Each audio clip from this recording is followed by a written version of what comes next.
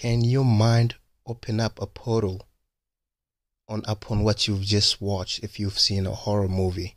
Is that why we're seeing dark shadows or ghosts out of the corner of our eyes after watching a horror movie? Is the mind that powerful? Is our mind that powerful? Stay tuned for the upcoming video. Is the mind a portal? Can we open our mind as a portal by using our thoughts? Feel free to subscribe, like, comment.